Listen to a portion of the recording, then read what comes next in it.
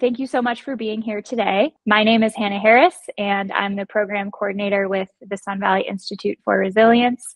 This is our second interview in a series uh, focused on food systems literacy and um, climate smart land management and also climate action in the Wood River Valley and beyond. Today, we have Oliver Mullen and Penelope Hunt with us from Wood River High School's Water Club, which is their environmental climate action organization. And so, before we dive into questions more related to youth activism, could you both please tell us a little bit about yourselves and also how you became interested in climate activism work? Oliver, do you want to go ahead? yeah, I can go first. Um, so I became interested in climate activism at a pretty young age. I think people that are concerned with the world around them and how our, you know, society as small as our town to our state to our country to our planet functions, you know, people that that want to question that and want to find ways to improve that.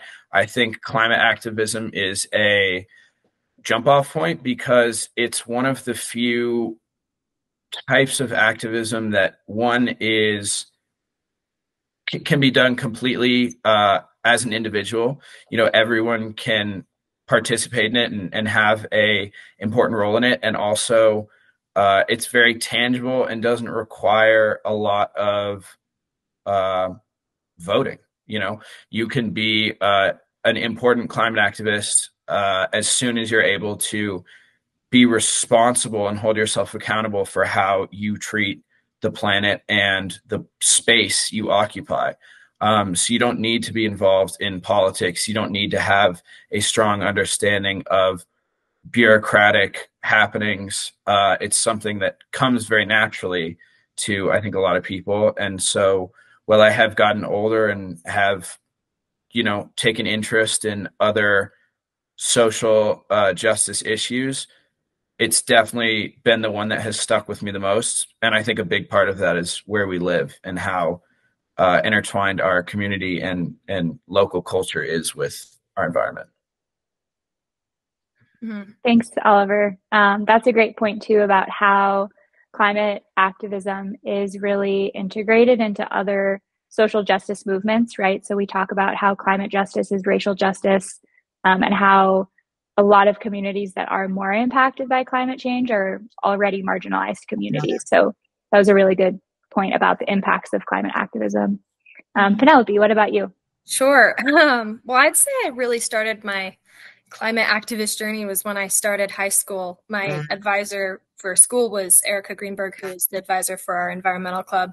And she just drew me in. I think the first project we worked on was our annual trashion show.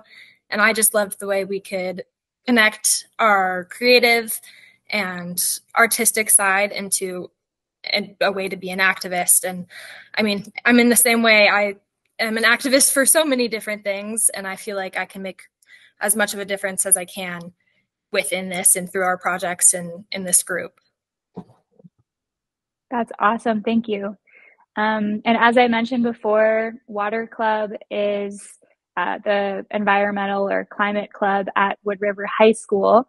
Um, but I'm curious if you could, one, explain if Water Club is an acronym, and then also explain a little bit of the history. So, how long has it been a group at Wood River High School in the Valley, and what are some of the past projects that Water Club has worked on? Yes, it was rebranded to be Water Club in 2009 when Erica took over. It is an acronym. It stands for We Appreciate the Earth's Resources. It definitely gets a little confusing for some people. We are not just water program. But yeah, so she started it in 2009. She took over from the biology teacher who had the mm-hmm. environmental club before. They have done some incredible projects over the years. Some of the more notable big ones. A few years ago, she had a group that passed an ordinance in our town banning all single use plastics at Hailey events. And that was kind of to piggyback off of a more a failed project, I'd say. I think it was in 2010 or 11. There was we had a plastic ban, plastic bag ban that was proposed, and it was on uh, the November ballot. And I think we went against the Hilex Poly bag resource company that is like the second biggest distributor of plastic bags, and we lost. Wow. Yeah, by seven percent, and afterwards they created a state law where they have banned bans uh, at town levels.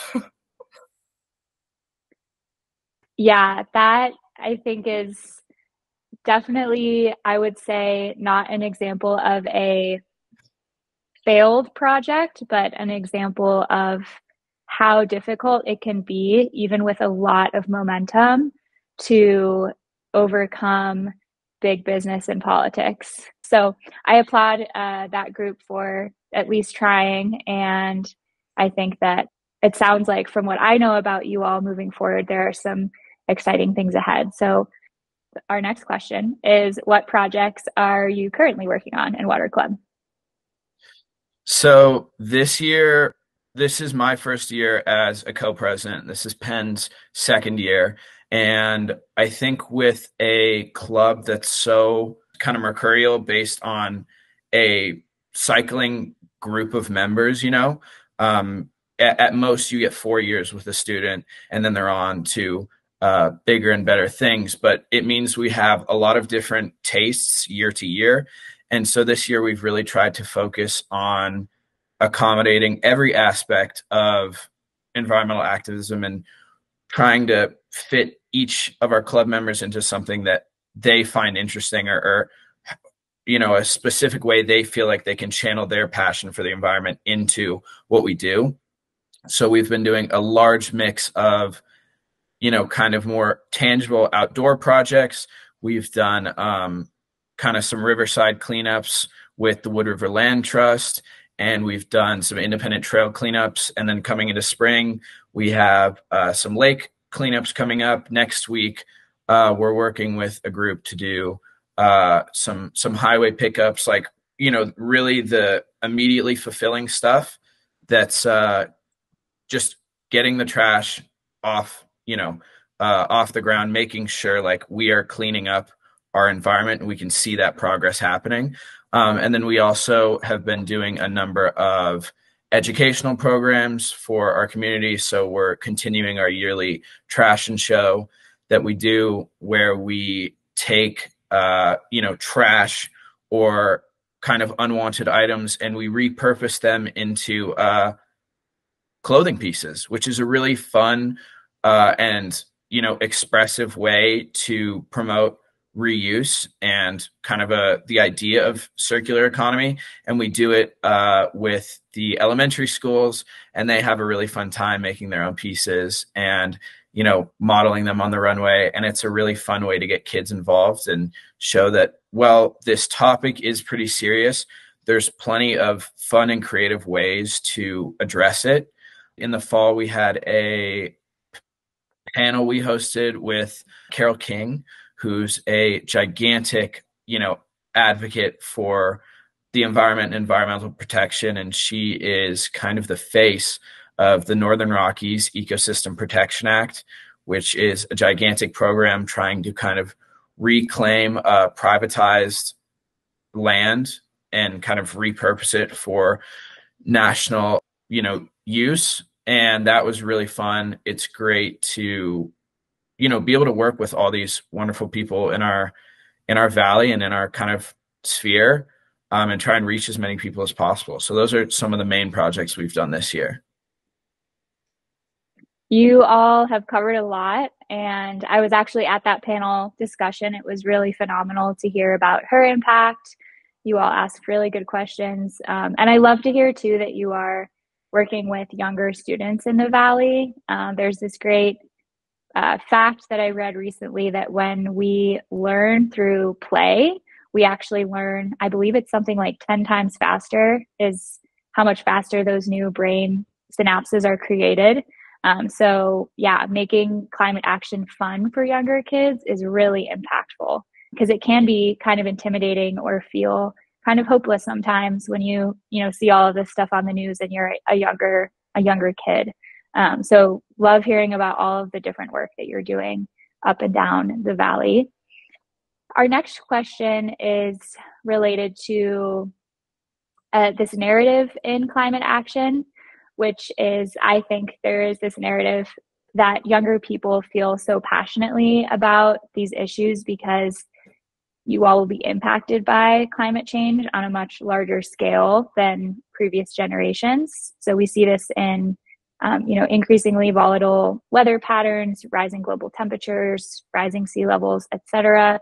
And so I'm curious if you have experienced this gap, this generational gap in concern over climate change and how you address it when you experience it. I'd say in this valley, we kind of have a unique experience because so many people do care. I mean, Oliver and I, we attend a lot of things outside of our school and outside of our club, like the CAC meetings, for example. And I, I mean, I personally don't see that gap too much. I see people of all ages and all ethnicities and everything supporting all climate activism and projects. But I mean, any pressure is good pressure. I think having people want and feel the need to make changes is important and it shouldn't be I don't see anything bad with it. There's always people making the joke like sorry we messed up. This is all on you guys, but you got it, but mm. not terrible. Yeah, I I've noticed a similar trend. I think people kind of you know uh unjustly kind of assume that older generations are more closed off to this idea, but I think it's all a mindset. And if you're willing to understand that just because something has been one way doesn't mean that's going to continue or doesn't mean that that's the way it should be done. So Penelope and I do work with a lot of people that you know are older in age but very open-minded, uh, very objective and, and willing to learn um, more so even sometimes than some of the kids we know or some of the you know younger people we work with. You do get your fair share of people that you know think that climate change is completely cyclical and that you know this has happened before and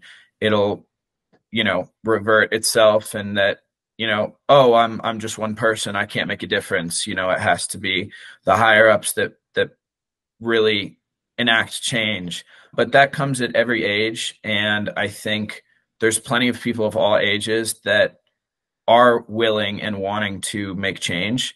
And it's really important that we recognize those people at all ages and kind of work together.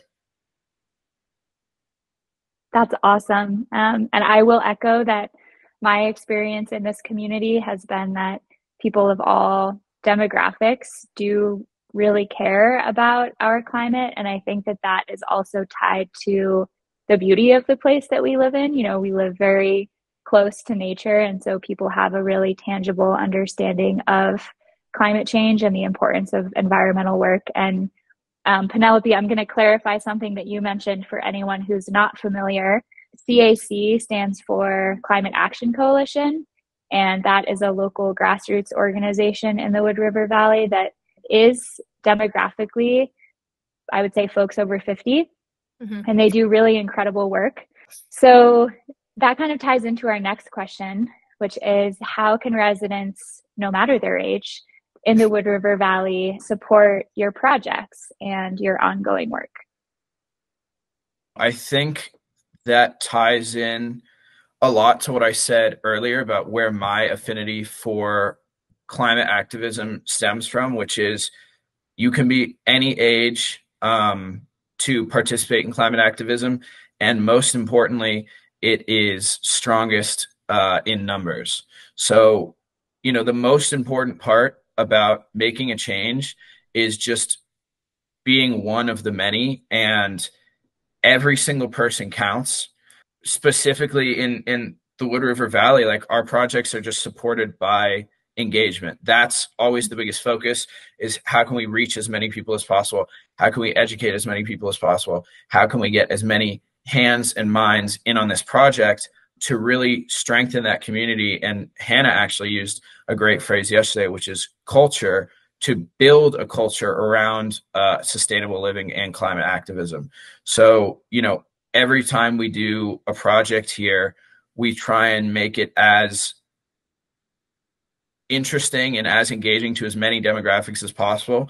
So we have to think about how does this work for, you know, uh, Gen X, Gen Y, and then Gen Z, even Gen Alpha, you know, like the the little kids we go to at the elementary schools, you know, how can we make this palatable to everyone where no one feels that it's too big of a task, too much to bite off, and oh, I, I'm kind of above this, which is a tough balance, but it really is it does make all the difference when you're just there with open mind, open ears, open eyes, and you know, willing to learn because anyone, anyone, anyone matters as much as the next in climate activism. Penelope, anything to add? I, I think he kind of summed it up. Yeah. yeah. Oliver, that was great. Thank you. And I would encourage any residents in the Wood River Valley watching this to definitely check out the Trashion Show and to participate in Earth Fest, which is April 20th um, in Hailey. And uh, that's going to be a really amazing celebration of climate action in our valley. And I think you also touched on something important, which is that when we educate about climate action, it's important to send the message that climate action is for everybody.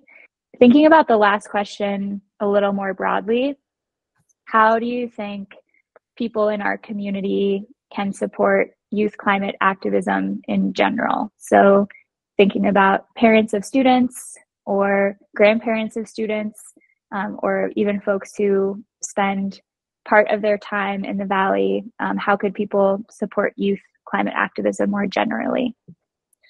I'd say my response would be similar to the last one just educating yourself and ensuring the education of the youth be continued and everyone understand the impacts that they have and get people included and involved in all of the incredible things that we have going on in town. But I don't know, just the continued education is what's most vital is passing it on and yeah, I don't know, Oliver, take it from me.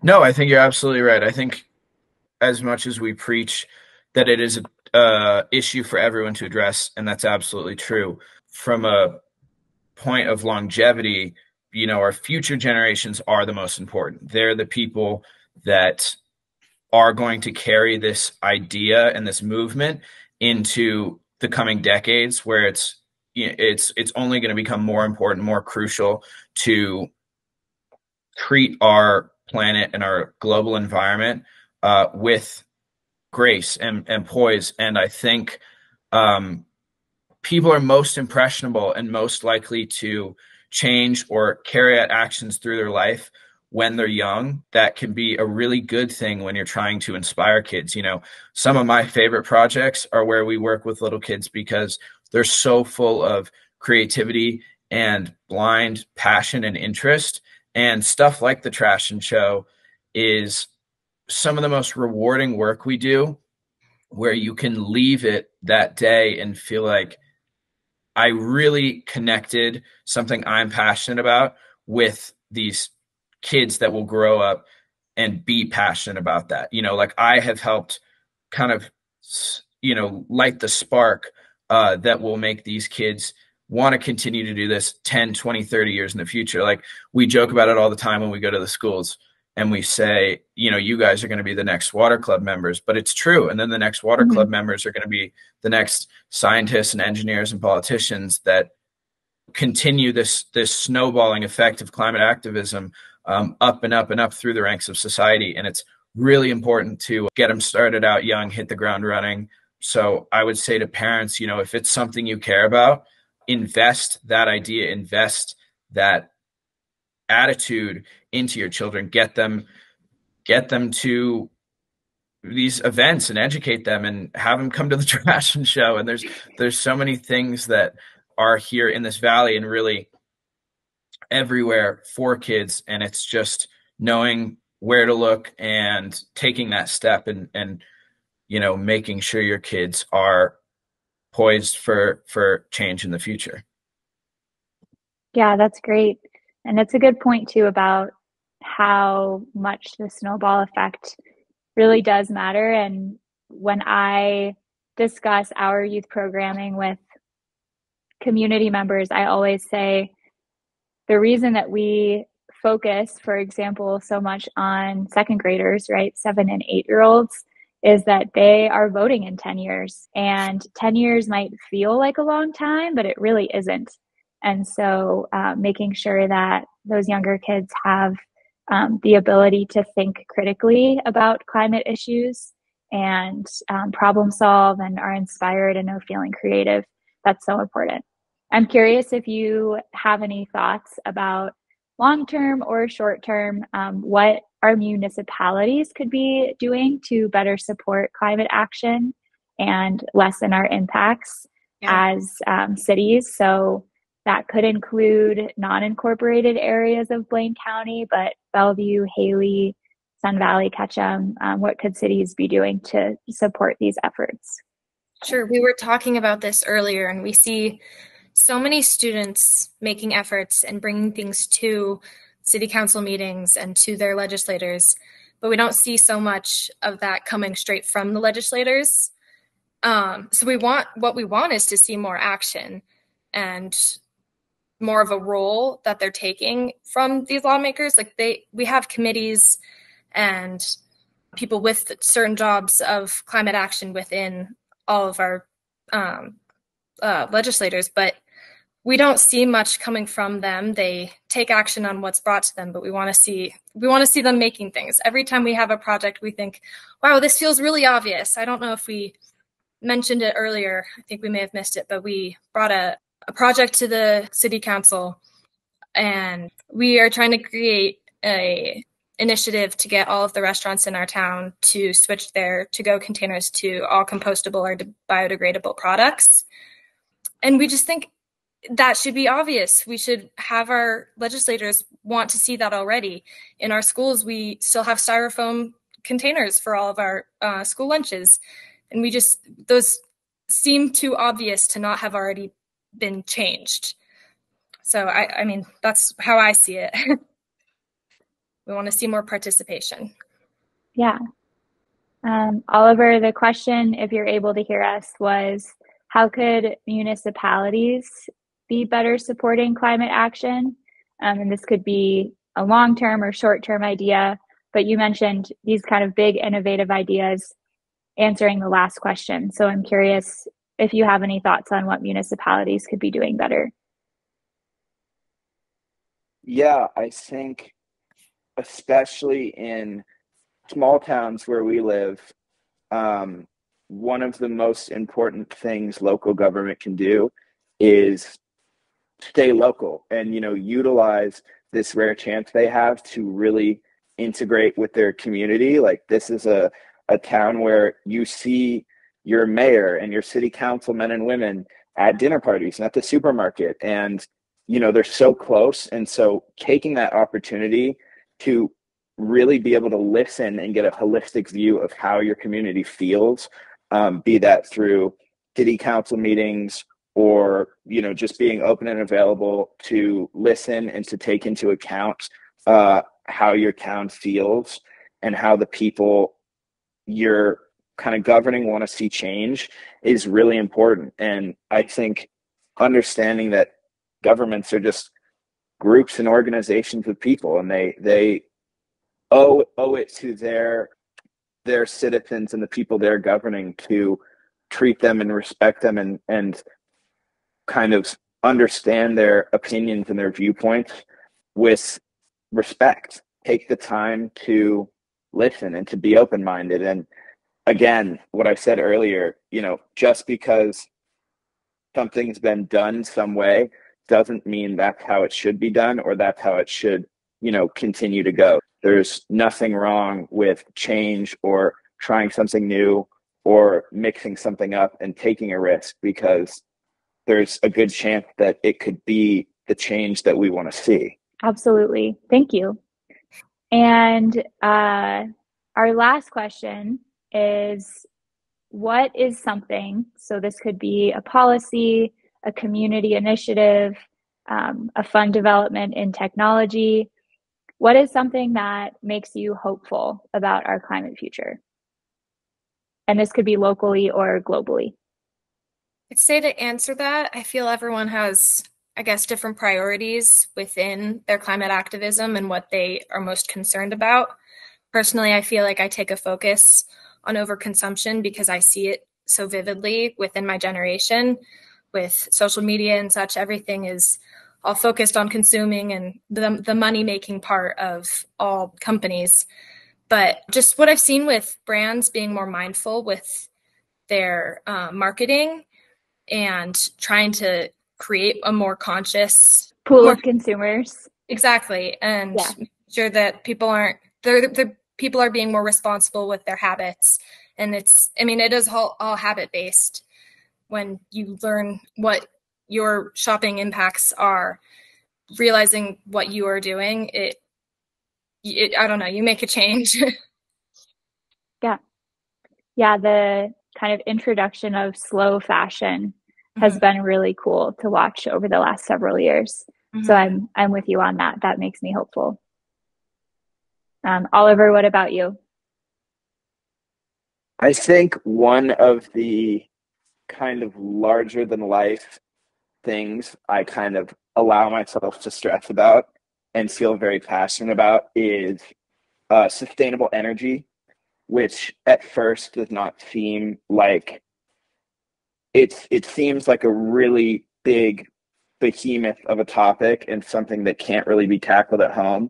And there are there are some aspects of that that do ring true. You know, I think I think the outcome, the the goal, however far it is, or however far it appears at the moment, is a sustainable energy. You know, be that solar or wind, which have a long way to go. I personally am a big fan of uh, nuclear energy. I think it needs a bit of a rebrand because I think the phrase nuclear scares a lot of people, and I think it's wildly misunderstood. But I think nuclear fission and fusion are fantastic, um, you know, options, and with a little more funding and a little more money, could be, you know, what really helps us 10, 20 years down the line. But on a small scale, I think energy is still something you can have an impact on at home, like getting, you know, low energy uh, bulbs for your house and saving rainwater instead of using sprinklers and taking you know it's kind of a, a cliche or like a an overused trope but that's because it is so true. Like taking shorter showers using turning the faucet off when you brush your teeth little things like that on a grand scale you know when when done in in myriad across entire communities across entire states do make a huge change. And there's so many things that you don't think about that are using energy needlessly and doing a little bit of research and understanding wow i really don't even think about this in my day to day but this could cut back on some of my energy use um, is really important. And it's that that kind of is the catalyst for making people and eventually making these gigantic capitalistic companies want to change their their use of energy and their output of energy and so I think that's something that is a gigantic, you know, colossal topic, but not something that uh, you should shy away from or feel that you don't have a say in because that's far from the truth. Yeah. I think your focus on energy and concerns over energy consumption and production kind of parallels uh, Penelope's concern over consumerism in a lot of interesting ways. Um, one of which is that collective demand really does have the power to shift the market. And so if people are opposing fast fashion pretty vehemently and opposing fossil fuels and coal plants, I don't know if you read this recently, but one of the last or the last, I think, coal facilities in the Northeast was shut down in the last couple of weeks, which is really cool. But when we think about energy, you know, Idaho has three main utilities and they are moving in the right direction but encouraging folks to use energy at non peak times of the day, for example, is another great way to lower the cost of energy. And a note on water you know, Idaho is technically still in a drought. And so water quantity is important. And anything we can do to decrease our water use is um, so impactful. Any final thoughts that either of you would like to add before we wrap up? I don't think I so. would just say thank you so much for having us. I always appreciate when people are interested in, in what we have to say, you know, both me and Penelope, but also just youth voices as a whole. And I find it almost funny that one of the questions we almost always get asked when doing interviews or when talking or when at meetings is how can how can we help to make youth voices still heard when in reality you know it's stuff like this that that is taking the the brunt of that issue and so we really appreciate you know having a platform talk and inspire and and converse with other people and just put our word out there and hope that it strikes someone in a poignant enough way that they you know decide to to take a stand and, and speak up as well Thank you both so much again for your time. I'm grateful for your perspectives. Again, thank you for being here, and um, we look forward to seeing the Water Club at Earthfest on April 20th.